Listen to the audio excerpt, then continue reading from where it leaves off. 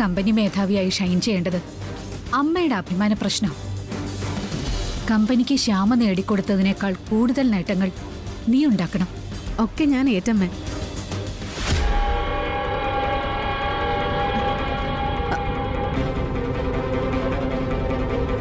Driver വണ്ടി നിർത്തി.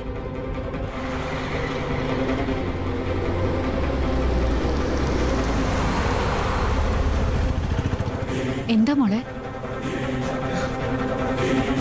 അമ്മയ്ക്ക് വളരെ ഇഷ്ടാവുന്ന ഒരു കാഴ്ച ഞാൻ കാണിച്ചു തരട്ടെ. എന്താ? അങ്ങോട്ട് നോക്കമ്മ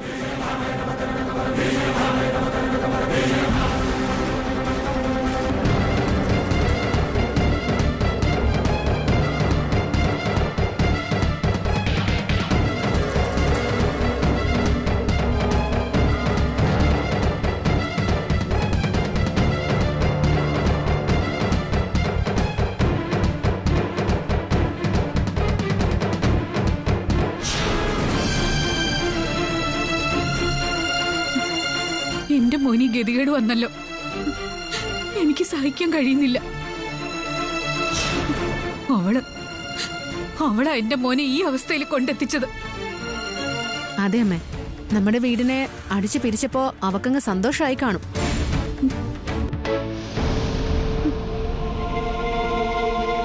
വാ മോളെ.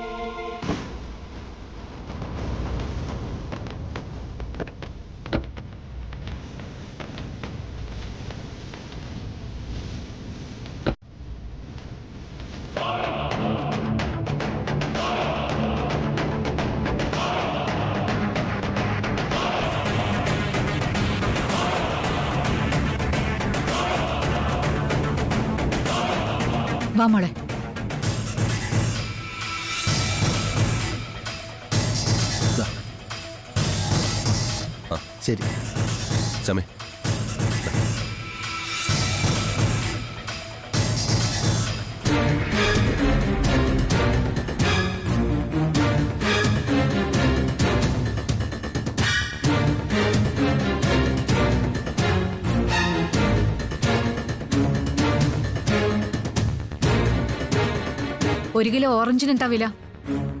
അത്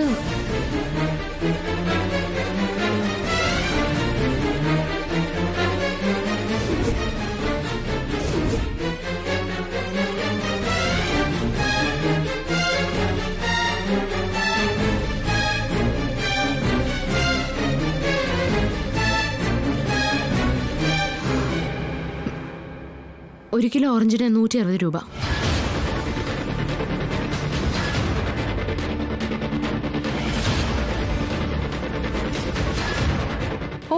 ഒരു കിലോയ്ക്ക് നൂറ്ററുപത് രൂപയോ?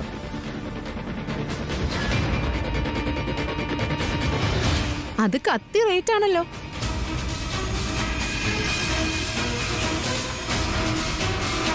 അപ്പുറത്തെ കടയിലൊക്കെ വില കുറവാ. എന്നാ പിന്നെ അവിടെ ചെന്ന് മേടിക്കായിരുന്നല്ലോ മാഡം.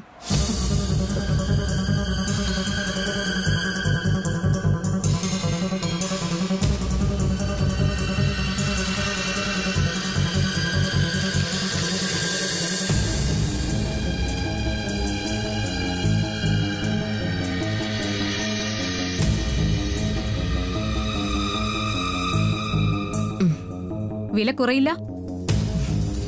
ഒരു പൈസ പോലും കുറയില്ല. ബാക്കി വെച്ചോ.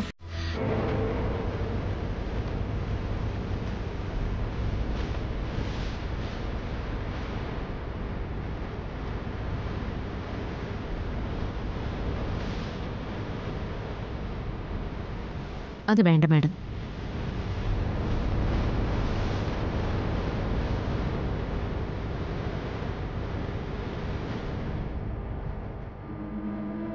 ഇവിടെ കടയിൽ നല്ല കച്ചവടമുണ്ട്.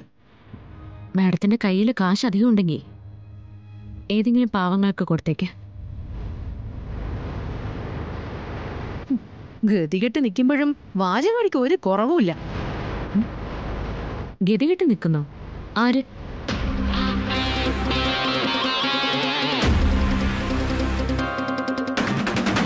നിങ്ങൾ എന്തൊക്കെയാ പറയുന്നത് അല്ല നിങ്ങൾ ആര് എന്നെ മനസ്സിലായില്ല അല്ലേ? ഇല്ല മനസ്സിലായില്ല.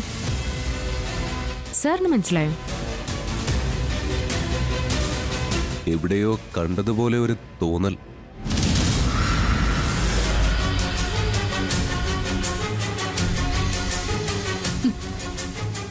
നിനക്ക് തോന്നും. അമ്മയെ കണ്ട എവിടെയോ കണ്ട ഒരാളായിട്ടേ നിനക്കിപ്പോ തോന്നും. അങ്ങനെ വേണം പെരുമാറാനെന്നല്ലേ പഠിപ്പിച്ചു വെച്ചിരിക്കുന്നേ.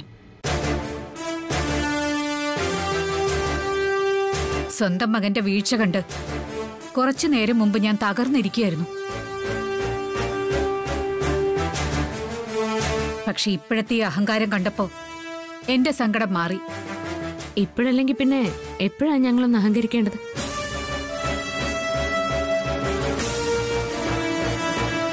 അധ്വാനിച്ചാ ഞങ്ങൾ ജീവിക്കുന്നത് ഞങ്ങളുടെ പൈസ ഞങ്ങളുടെ പേരിലെ അക്കൗണ്ടിൽ ബാങ്കിലിടുന്നു. അത് ബ്ലോക്ക് ചെയ്യാനോ തടയാനോ ആരുമില്ല. കാശ് എടുക്കാൻ ചെല്ലുമ്പോ അക്കൗണ്ട് ഫ്രീസ് ചെയ്ത് കളഞ്ഞുന്ന് മാനേജർ പറയേയില്ല. യാത്ര ചെയ്യാൻ തുടങ്ങുമ്പോ ഞങ്ങളുടെ വണ്ടിയാണ് അതിൽ കയറരുത് എന്ന് പറഞ്ഞ് തടയാനും ആരുമില്ല. സ്നേഹത്തോടെ സമ്മാനം കൊടുക്കുമ്പോ വലിച്ചെറിയുന്നവരുമില്ല. ജീവിത സുഖം അനുഭവിക്കുക. ഓരോന്നായിട്ട് ഞങ്ങൾ നേടിത്തുടങ്ങാം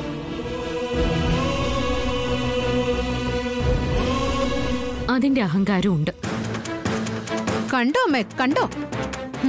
ഇന്നലെ വരെ വാലാട്ടി നിന്നവൾ അവസരം വന്നപ്പോ കുറച്ച് ചാടുന്നു.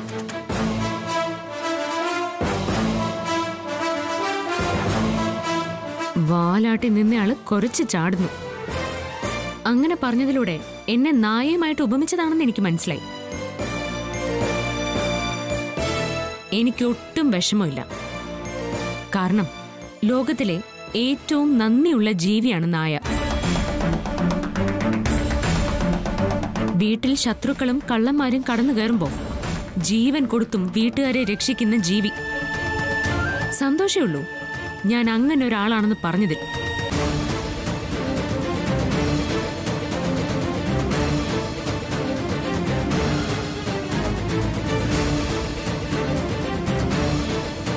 ക്ഷമിക്കണം. ജോലി സമയം? വർത്തമാനം പറഞ്ഞു നിൽക്കാൻ പറ്റില്ല. സാധനം കിട്ടിയല്ലോ? കാശും തന്നു. ഒന്ന് മാറി തരണം.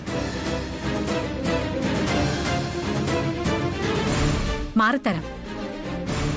ഞങ്ങൾ എങ്ങോട്ടാ പോകുന്നെന്നറിയാമോ വർമ്മ സ്പൈസസിലേക്കാ.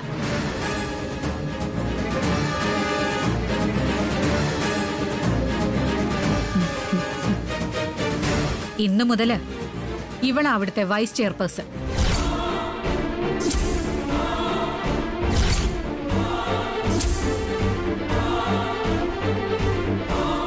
നീ കസേര ഇനി ഇവൾക്ക. അവിടെ എന്തെങ്കിലും തൂപ്പുജോലിയോ മറ്റോ ഉണ്ടെങ്കിൽ ഐശ്വര്യ അറിയിക്കും.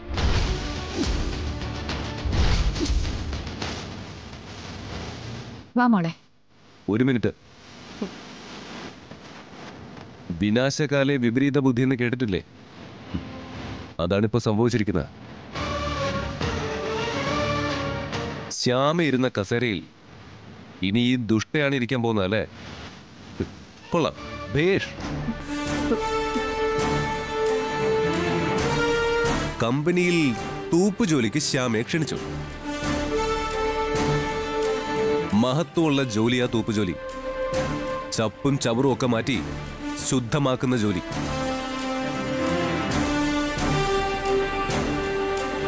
പക്ഷെ പ്രശ്നം എന്താണെന്നാൽ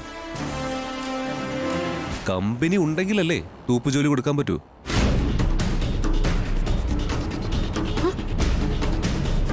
ഇവർ കമ്പനിയെ പൊളിച്ചു വിൽക്കും. ഞാൻ തിരിച്ച് അങ്ങോട്ടൊരു ഓഫർ തരാം. കമ്പനി കൈവിട്ട് പോയി ജീവിക്കാൻ ഗതി ഗതിയില്ലാതാവുമ്പോ. ഇവിടെ വന്നാ മതി. ഇവിടെ ജോലി തരാം.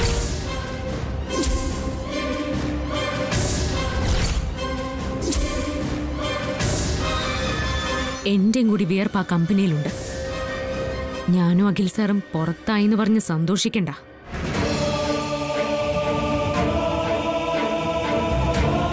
ആ കമ്പനിയെ ഇല്ലാതാക്കാൻ ശ്രമിച്ചാ നിങ്ങൾ വിവരം അറിയും. വാ മോളെ.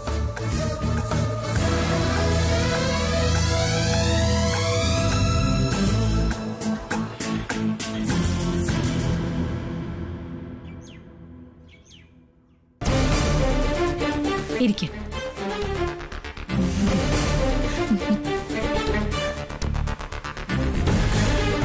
മോളെ ഇനി മുതൽ ഇത് മോളുടെ ഓഫീസാ. എനിക്കറിയാമേ ആ അറിയല്ലോ മോളെ. വലിയ ഉത്തരവാദിത്തങ്ങളാ ഈ കസേരയിലിരിക്കുന്ന ആൾക്ക്. അറിയാ അച്ഛാ. ശ്യാമ ഒരുപാട് നല്ല കാര്യങ്ങൾ എന്തിനാ മറ്റൊരാളായിട്ട് എന്നെ കമ്പയർ ചെയ്യുന്നേ? എനിക്ക് എന്റേതായ രീതികളുണ്ട്. അതെ. ഐശ്വര്യ ഐശ്വര്യയുടെ രീതിയിൽ ഓഫീസിന് നേട്ടങ്ങൾ കൊണ്ടുവരണം. ആ പിന്നെ ഞങ്ങൾക്കൊരു മീറ്റിംഗ് ഉണ്ട് ഞാനും അതേ അങ്ങോട്ട് പോവാ. കാര്യങ്ങൾ പറഞ്ഞുതരാൻ ജി എം ഉണ്ട് അതൊക്കെ ഞാൻ നോക്കിക്കോളാം സാർ. മോളെ അമ്മ ഇറങ്ങാ. ഞാൻ ഹൃദയം നിറഞ്ഞ സന്തോഷത്തോടു കൂടിയാ പോകുന്നേ.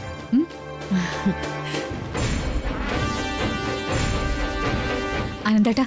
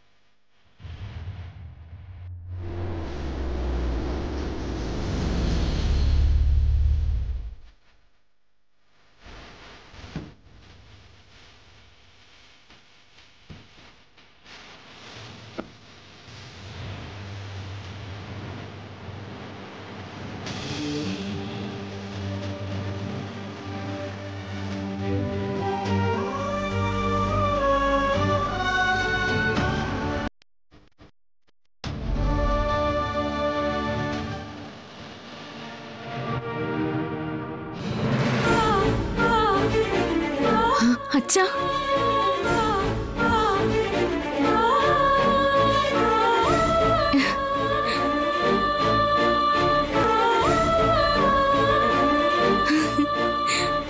മോളെ. അച്ഛാ. അയ്യോ. സോറി അച്ഛാ. എന്തിനാ സോറി പറഞ്ഞ? അത് അല്ല നല്ല പൊടിയും വിയർപ്പും ഒക്കെ എന്റെ ദേഹത്ത്. അതിപ്പോ അച്ഛന്റെ ഉടുപ്പിലും പുരണ്ടു കാണും. സോറി. നീ എന്താ എന്നെ കളിയാക്കുന്നു. എന്റെ ദേഹത്ത് എന്താ പൊടിയും വെറുപ്പൊന്നും പറ്റിയിട്ടില്ലേ? അച്ഛാ. നിങ്ങൾ രണ്ടുപേരും എന്റെ മക്കളാ. കുഞ്ഞുങ്ങളുടെ ദേഹത്തെ പൊടി അച്ഛന്റെ വസ്ത്രത്തിൽ വരണ്ട അത് വല്ല അപരാധമാണ്? അതുമല്ല ഇത് നിങ്ങൾ ജോലി എടുക്കുന്നതിന്റെ വേർപ്പാ. ആ വേർപ്പും പൊടിയും എന്റെ ഉടുപ്പിൽ പെരണ്ടാൻ ഉടുപ്പിന് അതൊരു അലങ്കാരമാണ്. സോറി പറയുന്നു. അപ്പൊ എന്നെ മൂന്നാമതൊരാളായിട്ട് കണ്ടു തുടങ്ങിയല്ലേ? അയ്യോ അച്ഛാ. അയ്യോ അച്ഛാ ശ്യാമ അങ്ങനെയൊന്നും ഉദ്ദേശിച്ചിട്ടല്ല പറഞ്ഞത്. എനിക്കത് മനസ്സിലായി. പക്ഷെ പെട്ടെന്ന് ഇങ്ങനെ കേട്ടപ്പോ എനിക്ക് വിഷമം വന്നു. സോറി പറഞ്ഞതിന് സോറി അച്ഛാ. ആ അത് പോട്ടെ. സുഖമായിരിക്കുന്നല്ലോ സന്തോഷമായിരിക്കുന്നല്ലോ എന്നൊക്കെയാണ് സാധാരണ ചോദിക്കേണ്ടത്. ജീവിക്കാൻ വേണ്ടി ഇങ്ങനെ വെയിലുകൊള്ളുന്ന മക്കളോട് ആ രീതിയിൽ ചോദിക്കാനും പറ്റുന്നില്ല. അത് അച്ഛന് ഞങ്ങളോടുള്ള സ്നേഹം കൊണ്ട് തോന്നുന്നതാ. പക്ഷേ ഇവിടെ ഞങ്ങൾക്ക് നല്ല സന്തോഷ. ഞങ്ങൾ ഹാപ്പിയാ.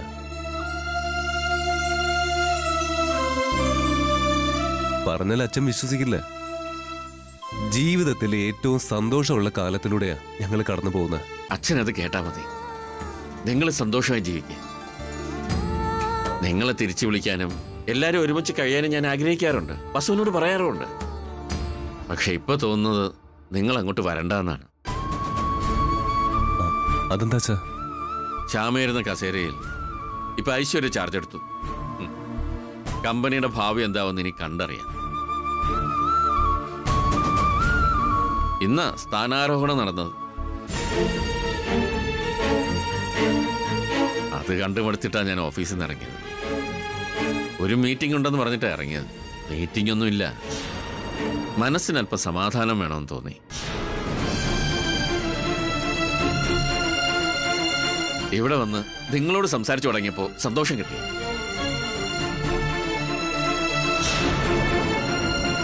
കമ്പനി പോയി മോളെ.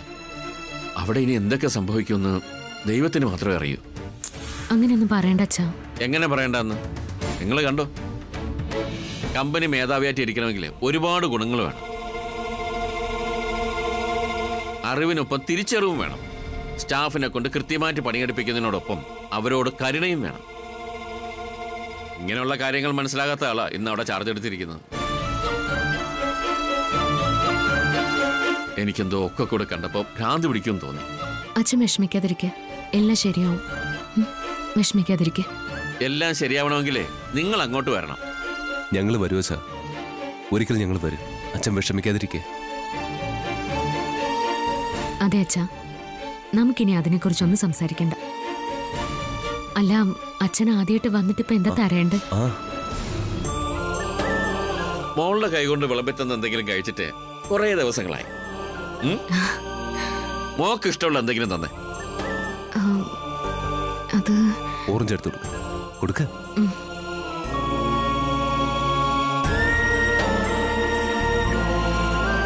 ദാ അച്ഛാ കഴിക്കും.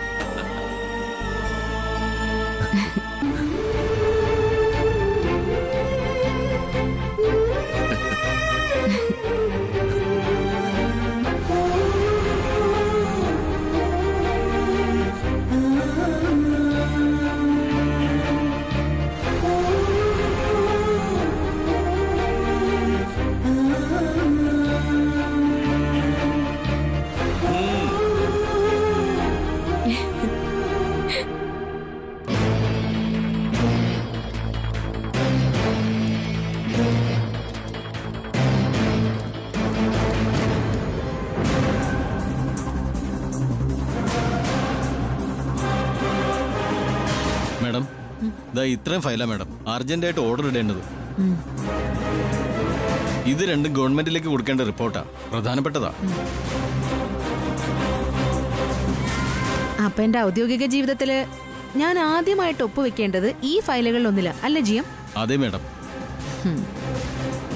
എങ്കി ഇതിലൊന്നും അല്ല ഞാൻ ആദ്യം ഒപ്പിടാൻ പോകുന്നത് പിന്നെ ഏതാ മാഡം? പുതിയൊരു ഫയൽ ഓപ്പൺ ചെയ്യണം. അത് ഏത് സബ്ജക്റ്റാ? ടെർമിനേഷൻ ലെറ്ററാ ആരെ പിരിച്ചുവിടാനാ മാഡം? ഈ കസേരയിൽ എനിക്ക് മുമ്പ് ഇരുന്നില്ലേ ശ്യാമ. ശ്യാമയുടെ സഹോദരനായ അരവിന്ദന്. അരവിന്ദനെ പിരിച്ചുവിടുക. അയ്യോ മാഡം. അയാൾക്ക് സ്പെഷ്യൽ പോസ്റ്റ് ആയിട്ടല്ലേ നിയമനം കൊടുത്തത്? അപ്പോ വിത്തൗട്ട് നോട്ടീസ് പിരിച്ചുവിടലും ആവാം. പക്ഷെ മാഡം വർമ്മ സാറിനോടൊക്കെ ആലോചിച്ചിട്ട് പോരെ. സാറ് മീറ്റിംഗ് കഴിഞ്ഞ് വന്നിട്ട് ഓർഡർ അനുസരിച്ചാ മതി.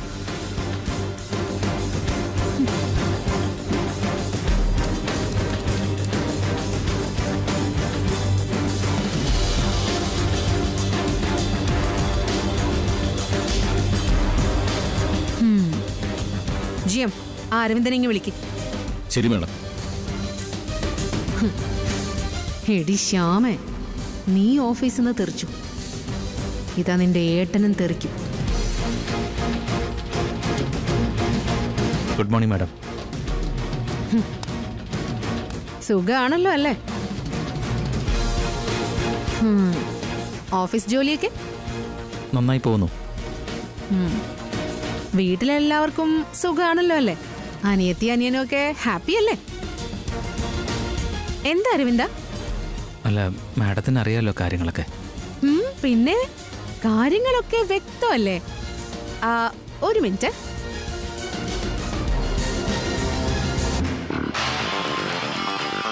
ആ ഞാനൊരു മെയിൽ അയച്ചിട്ടുണ്ട്.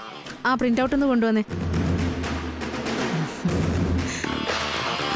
കേട്ടോ അരവിന്ദ. ജി എം എ കുറെ ഫയൽ കൊണ്ടുവച്ചു. അതിലൊരു ഫയലിൽ ഒപ്പിട്ട് ഓഫീസ് ജീവിതം തുടങ്ങണമെന്ന് പറഞ്ഞു. പക്ഷേ ഞാൻ അതൊക്കെ അങ്ങ് മാറ്റിവെച്ചു. പുതിയൊരു ഫയൽ ഓപ്പൺ ചെയ്തു.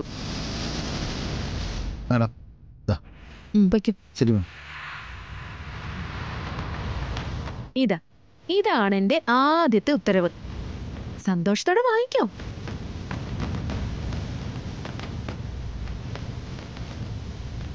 ഇതെന്താ മാഡം? വായിച്ചു നോക്ക്.